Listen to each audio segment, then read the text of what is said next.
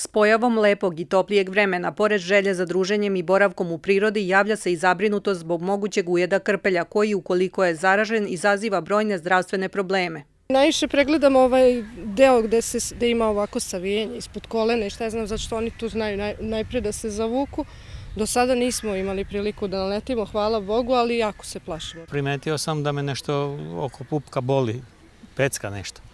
I kad ja pogledam, onda vidim crveno i odmah sam video da je krpelj. I uzeo ulje i počeo sam da okrećem na levu stranu.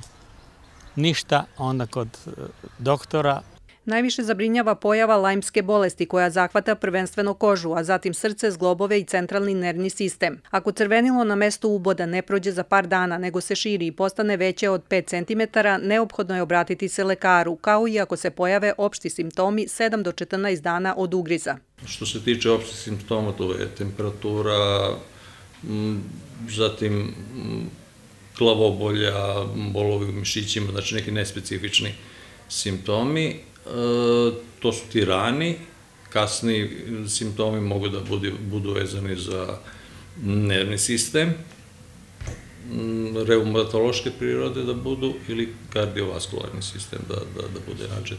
Krpelji napadaju i kućne ljubimce, pa kako bi se zaštitili, najbolja je preventiva, odnosno korišćenje zaštitnih sredstava od ogrlice do različitih preparata. Ali ako se krpelj zakači, trebalo bi ga ukloniti pincetom.